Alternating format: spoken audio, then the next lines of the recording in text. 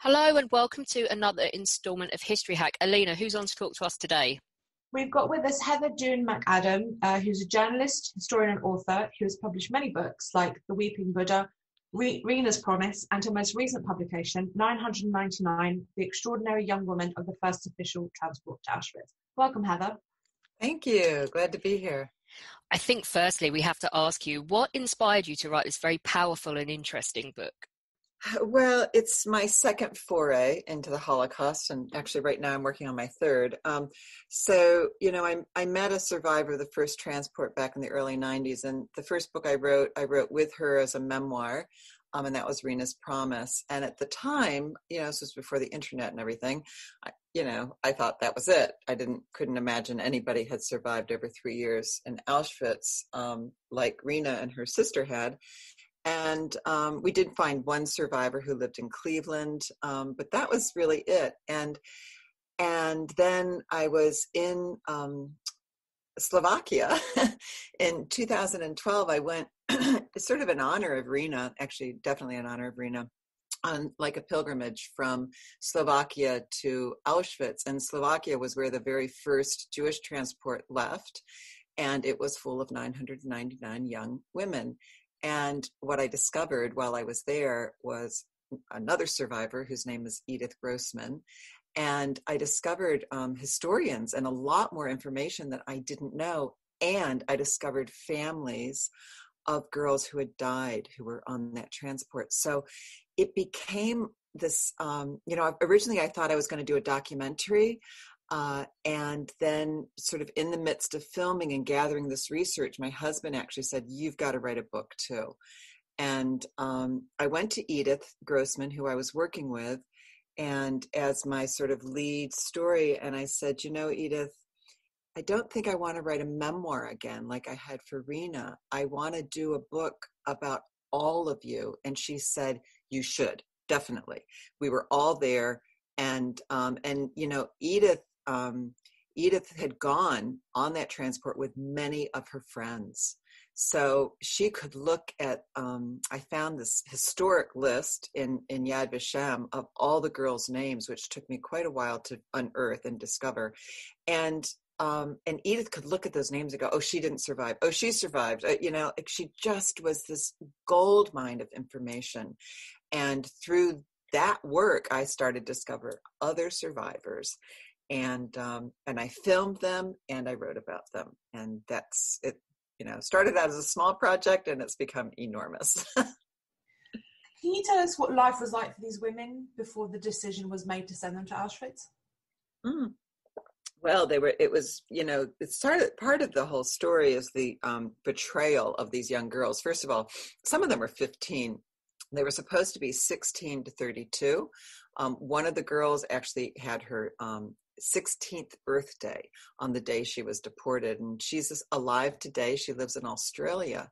And, um, you know, they were, a lot of them were in school, right? Well, not at that point because um, Jews were no longer allowed education at that point. But, you know, the, these were teenagers, many, many, many teenagers.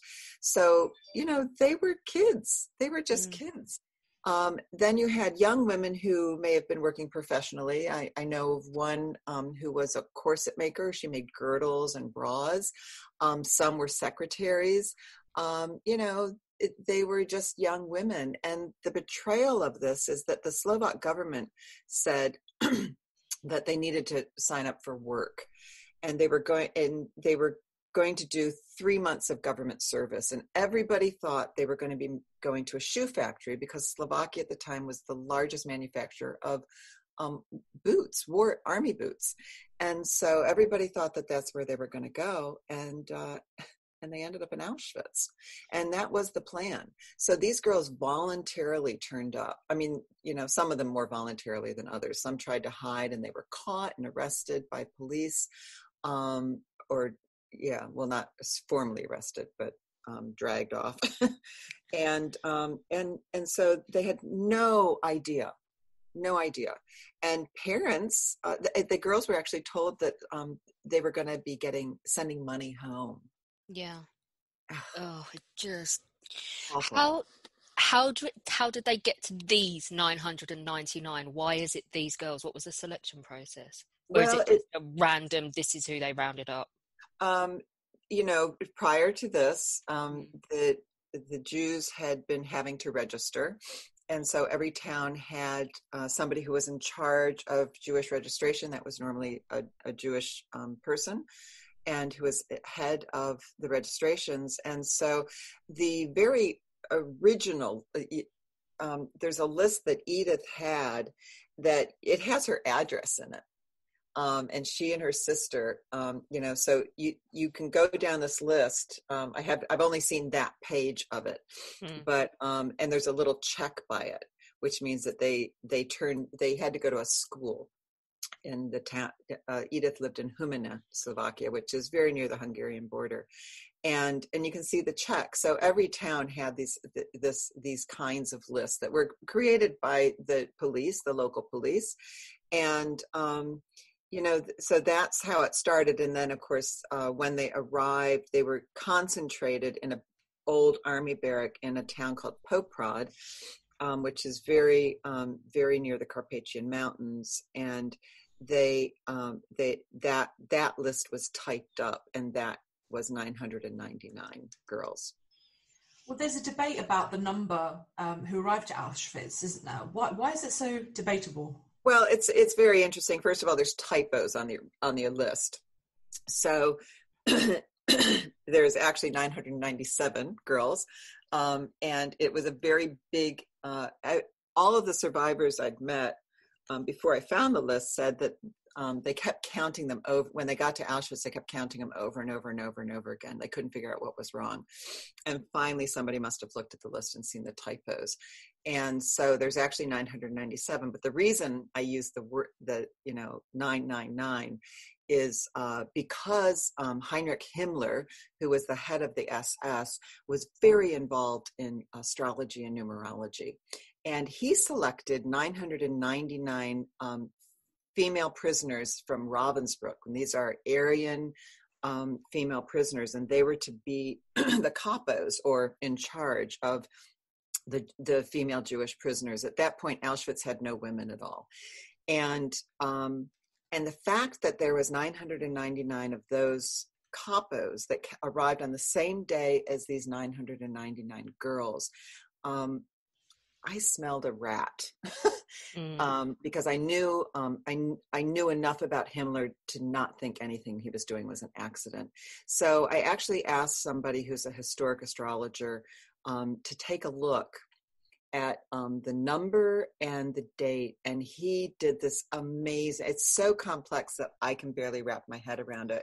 But you know, the um, the Third Reich was full of occult and mysticism. They actually had a department for to um, for the Nostradamus prophecies. You know, people were supposed to analyze those, and um, and when you look at the dates, the actual date of the transport, there's like a there's something going on. I forget. Um, it, it's I have it in the book all unpacked. but it's it's like um, there's an eclipse and it has to do with Himmler's birth date and the date that they decide on the Jewish solution and it's and you just and then the number 999 that means the end of something the next it's the last single digit right before you move into 10 and so when you want to finalize and end something that in in occultism that's the number you use he Just wanted to end so creepy, Jews. horrible, isn't it? Yeah. It just ooh, it makes me it's just so creepy angry. enough to be true right it's yeah, like well, it's Himmler, well, we- we so got- yeah but we also we have people today that are qanons they believe they believe Do you know what? I looked that up. I had heard it and heard it and heard it, and we discussed it briefly on a show on here, but it like a jokey show that we do down the pub. right And I thought Charlie was exaggerating about what it was. It's not. The, these people are morons. Yeah but they don't it, and you think you, you think the same thing about nazis right Yeah, like, I mean, I make a, stuff they believe and you think I well, make a show called World War Weird where I basically get paid to laugh at the Nazis. I- It's, it's, I've got some great responses from pro-Nazi people who say I don't respect their achievements, uh, but yeah, let's not respect them. Uh, let's talk about these women and their journey. What did it look like, the journey to Auschwitz? I just, it breaks my heart that these young girls were probably excited about going to earn money and send it back to their families. And they were. They sang. They sang the Slovak national anthem on the way to Auschwitz. Oh God their baby. One of, one of the girls actually, when they're taking all their they're taking all their jewelry and everything, and they're they're stripping. They're you know they're about to pro, they're about to shave them of all their hair. She says. Um, she literally hands her jewelry over and she turns to her friend and she says we'll be able to we'll be able to buy um, new jewelry from our from from our jobs they're so innocent they have no idea um, and the journey is um, you know the journey is one of those things that when you talk um, when you talk with uh, survivors of trauma right um, you have to be really careful not to re-traumatize them. And the thing about this train journey is there's very little to remember because it's at night and they are mostly in shock. Um, what they remember mo- you know sort of generally they remember being cold they remember going into the pole uh, they remember the train the transport being handed over to the Germans at the Polish border, and um, which of course was Greater Germany at that point. But there's not a lot that um, that they remember, and um, because it is uh, they're in such shock um, from what has is happening to, to, them.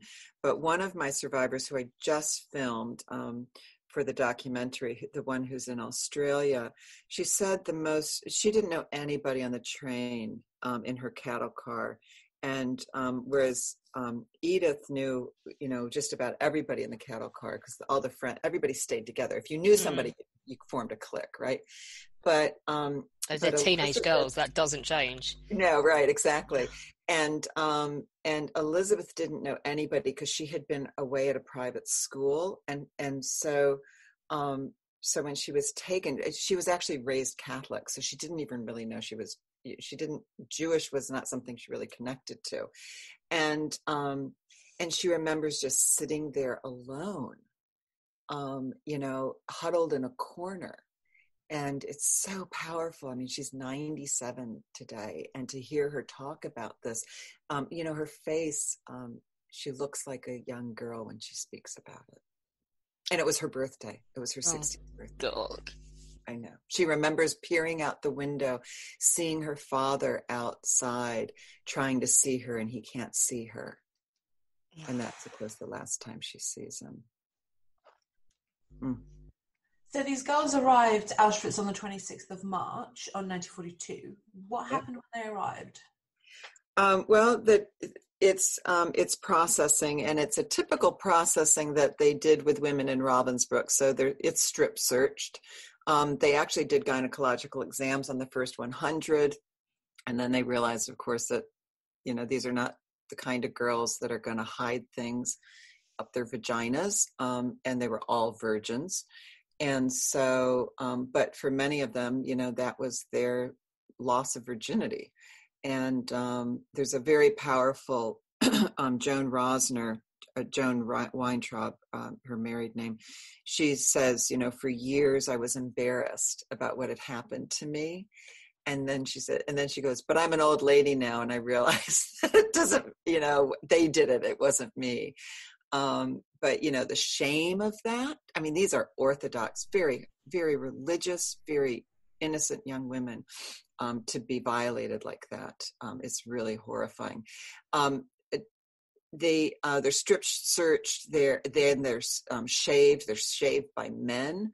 Um, one of the girls, uh, Adela Gross, whose family I'm very close with, um, and Adela does not survive, and she's sort of um, the reason I got back involved in the story, um, which I won't go into right now. But Adela had incredible, thick red hair, mm. and um, and one of her friends remembers the uh, SS checking her hair to see if there was anything in them, like nail files, and right before they shave her and um, yeah, so just it, they were humiliated, right? And um, it's um, I'm just the book I'm working on right now is about the first uh, transport of Jews from France, female mm. um, women uh, to Auschwitz from France, and that's the third French convoy.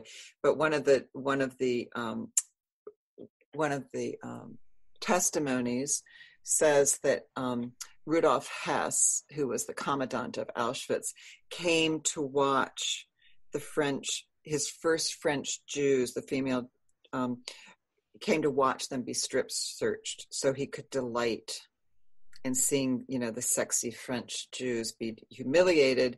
And he made fun of those who had red varnish on their toes. Oh, just just defies belief, doesn't it? it How, what? So these girls have arrived. They've been processed. What does life look like in the main camp? Well, it, it, it for, um, you know, this is what's so unique about this story is that um, they're just figuring stuff out, right? The uh, nothing's organized. This is not um, this is not Auschwitz uh, six months later. Um, everything is the first time. Everything is really unorganized. Um, they don't work immediately. Uh, they get they get tattooed. Um, they're given their numbers. They have to sew the numbers onto. They're they're forced to wear Russian uniforms and men's Russian uniforms. Um, and these are um, against the Geneva Convention. These are prisoners who've been executed um, when uh, Germany uh, invaded Poland. So there's uh, up to this point, Poland, uh, Auschwitz had been mostly a POW camp. There were some Jews in it, but they were mostly intellectuals. They hadn't been arrested for being Jews. Um, most of them were probably dead by this point anyway. But they were working in the kitchen, and they were POWs, and they were executing the Russian POWs. And and they gave the girls their uh, filthy woolen um, uh, uniforms to wear uh, which had bullet holes in them and covered in blood and feces. And you have to remember, these girls are really small. You know, I mean, I'm like almost five nine.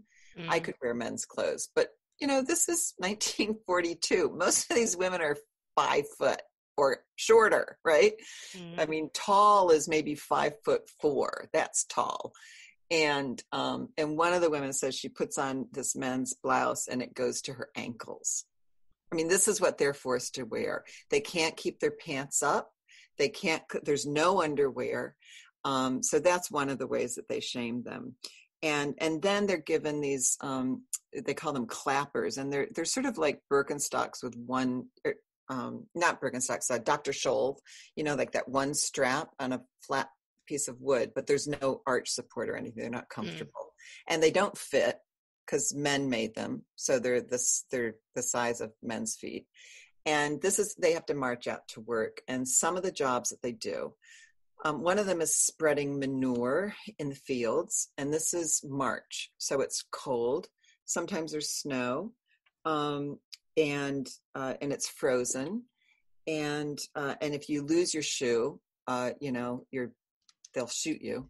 Um, so that's one of the jobs. Edith and her sister, um, whose whose name was Leah, uh, Edith, they cl- they're told to clean the roads and the, um, the camp roads inside of Auschwitz camp. And so, I, you know, when she first told me that, I said, "Oh, you know, so you were sweeping snow?" And she said, "No, we had to use our hands to move snow off the road."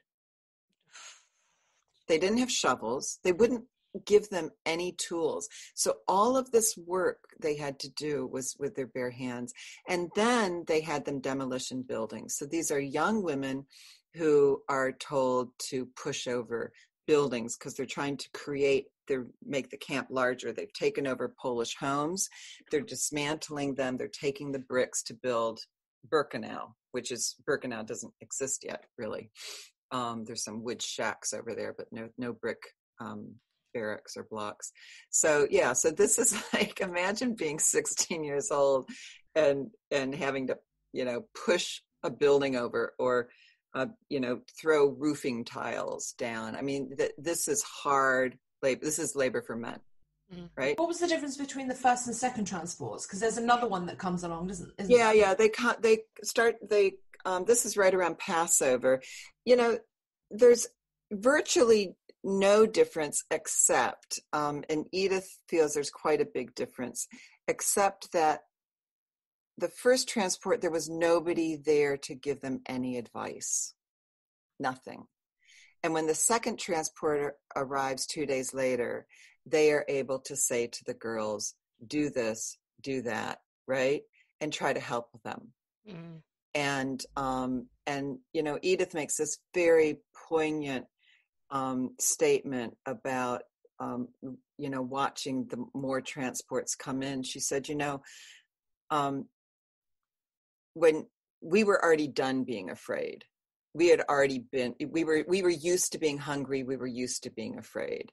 So when the other transports start to come in um, you know they're dealing with with the terror and the hunger and and those who have gotten over that bit you know you just you at some point you know you realize that you're just going to be afraid all the time and you just get on with it. You're not going to you're never going to be full. You're just always going to be hungry. And your body starts to adjust to that as well as your your um, your psychological well-being if you if you're able to do that. And some people can't so you mentioned that poor girl's father looking for her on the train. There is no shoe factory. There are no wages coming back. They're presumably hearing nothing from their daughters. What is the reaction from the families at home? Well, they don't have a lot to react because by that, you know, within two months, um, Slovakia makes it, it, This is the other thing. Legally, it was illegal to deport Jews. So there was a big outcry in April of 1942 saying, "You can't take our children." Um, they had started to take um, young men at that point, and so they stopped uh, for a couple of weeks. And then the legislature, the assembly, passed a law saying it was legal deport Jews. And then they just started to deport everybody. And um, President Tiso, who was a fascist and a priest, um, he was in charge of the Slovak, uh, so I won't say republic, yeah. the Slovak fascist government. Um, he told everybody, you know, oh, well, we've heard you, so we're going to let you all be deported together. Yeah. Okay, that's not really a solution, is it? Yeah, well, it's a solution if you want to kill everybody. Yeah. What what did they do? Do you, do we know what the families did when they didn't hear from their daughters or um well, um Edith's father mm. um he actually had uh he had a special position. So if you if you were a Jew and you were doing something that the d- government could use you for, um, you were in less danger of being deported, at least not initially, because they still needed you. And her father, um, it, he fixed um, uh, planes, so warplanes. He fixed the windows on them. And so he had an important position, and he actually sent somebody to Auschwitz to try and rescue his daughters. Um, uh, and the man returned and said, uh, "Your daughters aren't there. There's only crazy people." You have to remember that you know you you can't recognize them because they have no hair. They're dressed in men's clothing. They're starving.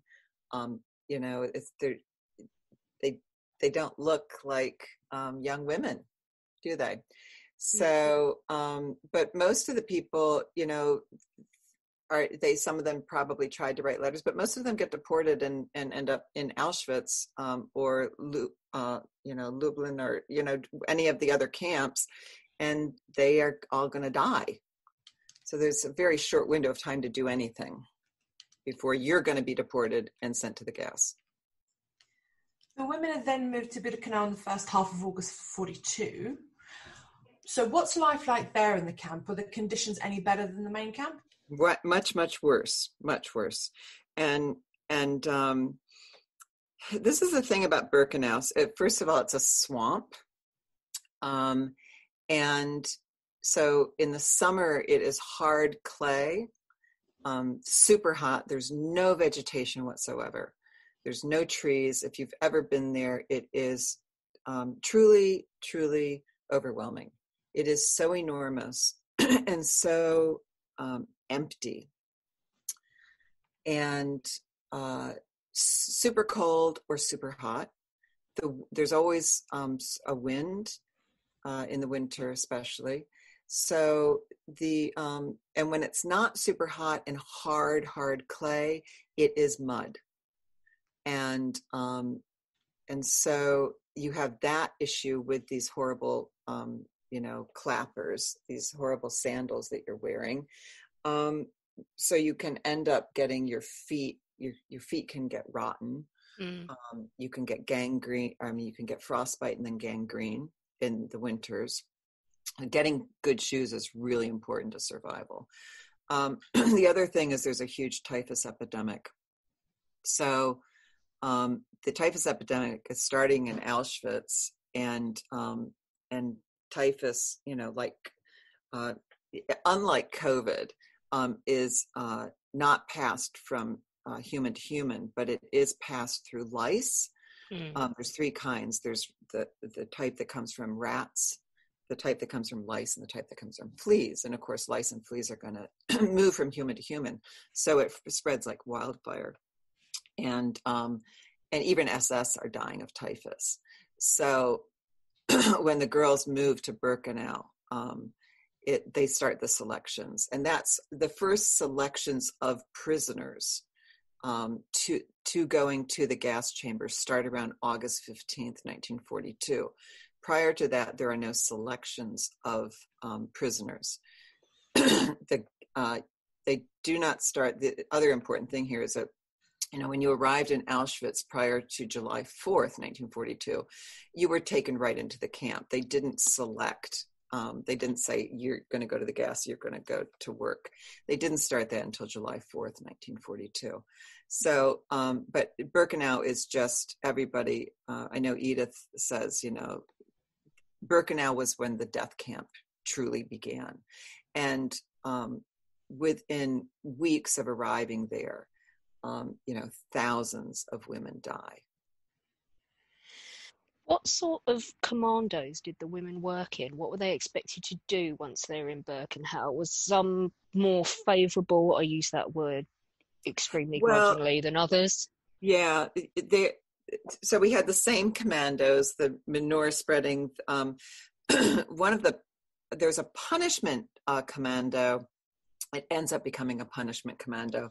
But it was one it was the road the road clearing one also was swamp clearing. So you'd have to go into the water into the ditches and into ponds and clear out uh, garbage. And edith and her sister were stuck in that one because they were road clearers. And that is super super your health is really at risk because you're cold and wet all the time. Um, and that's probably why uh, both she and her sister end up getting ill. Um, Edith survives, and her sister does not. Um, but there are other details. So um, one of one of our first transport, she ends up working in the Leichen Commando, which is collecting the dead bodies, um, and she does that willingly because she gets extra bread, and she knows that she doesn't have to do hard labor outside, and she is she knows enough about herself at 16 years old to know that she won't survive because she's always cold. She probably has low blood pressure. She just can never stay warm. So she wants to work inside. Some of the better jobs were working in the office. If you had office skills, um, if you spoke other languages, you might get a better job. One of our survivors, excuse me, one of our survivors um, has very neat handwriting and had been a secretary um, it, when she was in, you know, before she came to Auschwitz. And she was taken by Dr. Mengele to be his scribe. So oh. she wrote down the numbers of the women that were selected. Um, and, uh, and she's actually was responsible for saving one of Edith's um, best friends. Um, so there's all of these little. It's one of the things I sort of loved about doing this research, because um, when I started to go through the testimonies, I would go, oh, wait a minute. Like they don't all know each other's names, right? but you get two people talking about something, and then you know that this person over here, so Ella, who does writes the text, who does the numbers, the only way that this one woman can get out of block 25 which is where the sick people are and the only way out is to die the only way she can get out is if somebody changes the number and and so I have a witness who says um, that they changed the number to a dead body, and she walked out holding the stretcher with them. Well, the only person who could have changed that number was Ella, mm. and the person holding the stretcher is the girl from the Leichen Commando, and and so it's like, and that's one of I and that's one of Edith's best friends. And so that woman ends up saving Edith's life in the death march. It's all it's like this big tapestry of sisterhood, mm. right? And solidarity and and you know you do you recognize people. You go oh i came with you on the first transport. I may not know you from home. I may not know you from any other place um, but i recognize you so i'm going to try and help you. Because helping people is super important and super difficult right? And anytime you help somebody you're risking your life. So you really have to care to risk your life I'm curious to know, do conditions ever improve? No. they, just get progressively worse the more people that get sent yeah. there. Yeah, they get it, yeah. Um, by the, by 1944, um, by 1944, all of the women who are going to survive from the first transport are in better positions. So they may be in uh, what was called Canada sorting clothes.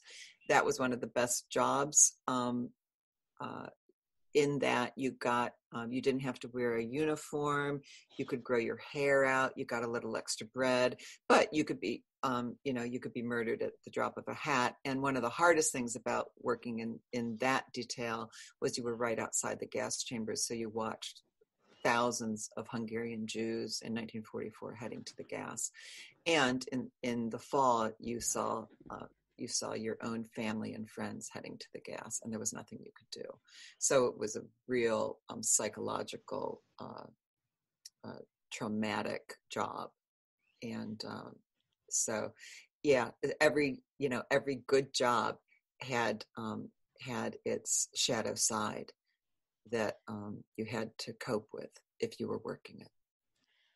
How many women from your group from this transport survived the concentration camp system? I know it's yeah. a really horrible question to put an exact it, it number is. on it, but but no, but people, uh, everybody asks that, and and we don't know. Um, one of the reasons we don't know is that they, um, you know, they dispersed at the end of the war. Not everybody went to Slovakia. And so um, the historian that I've worked with in Slovakia thought that only 20 had survived because about 20 came back to Slovakia. Mm. And well, about 20 came back to Slovakia or were had been in Slovakia or thereabouts um, when he was doing his research, right, which was probably in the 80s and 90s. And so, um, but by that point, many had left Slovakia. There's a large group in uh, Melbourne, Australia. There are women in uh, Montreal and, and, Toronto, Canada. And then there's our American contingents. And then there's, um, I actually found a survivor down in Argentina. So, um, you know, many of them didn't go home because they didn't have a home to go to. They knew from being in Auschwitz that um, they had no parents left. Um, Joan Weintraub, um, actually, you know, she had an aunt who was in, I think she was in Chicago, and when she was uh, freed, she wrote she wrote to America, and her aunt immediately, you know, um, sent her money to come to America. So she never went back to Slovakia. So um, so that's one of the reasons we do not have accurate records the other the other um, you know you could and this has happened a few times i find out that somebody survives all of it right they hmm. survive mm. three years in auschwitz the death march and then they're liberated and she eats too much and she dies of um, uh, because her stomach can handle it oh god and um, so I, the nearest i can guess is that there were about 200 that survived um, and and that's sort of i know right now i know of about 60 so i'm i you know i'm sort of expanding what i know mm. and then who i was able to interview because i didn't do the work until the past you know five or six years and many of those women have died mm. um, and i have testimony um, from the shoah foundation et cetera but um, but a lot of women didn't speak about it. And one of the reasons was that they had better positions. They may have been block elders um, they they may you know they may just want to keep it secret. And i do know a couple of uh, women who were in my first book and in the second book and um and they you know they never spoke about it to their families. So there's no way we would know um, except that i do know because i know their families. Yeah. Um, so eh, how many of those women? So i would guess um, you know it, I, I don't know if that is a high number or a low number. It's as good as you can get. It's it's just i'm i'm sort of um because i know that the one thing about being on the first transport is you did get a little extra respect in the end from the ss so um Drechsler the the uh, one of the ss women actually um, in 1943 in the beginning of 1943 said that anybody with a um, four digit number um, and with the number one in front of it was excused from selections. So they would go through and they would look. They do this to my to to Rena, the woman I wrote about in my first mm. book. They go, "Oh, look!" They point, "Look, she was on the first transport," and they let her go by. Wow. Um, sort of, it's almost like a, oh, let's see, you know, let's see how much longer she can survive, right? It's not that they care. Yeah. It's more like a fluke. Oh, we didn't kill this one yet. Let's see how much longer she can go. Heather, thank you so much for coming on to talk to us about the 999 women and give us a bit of an overview. Uh, the book is quite big, it's full of stories like this and full of the testimony that you've got together. Um, really hear about these women in their own words. So tell everybody again what it's called and where they can get hold of it. Yeah, well, um, it's uh, in England, it's the 900 the extraordinary young women of the first official Jewish transport to Auschwitz. And we use that sort of long term because Himmler ordered the transport. Mm-hmm. Um, and in America, it is 999. So, um, yeah, and it's coming out in paperback, I think, this week.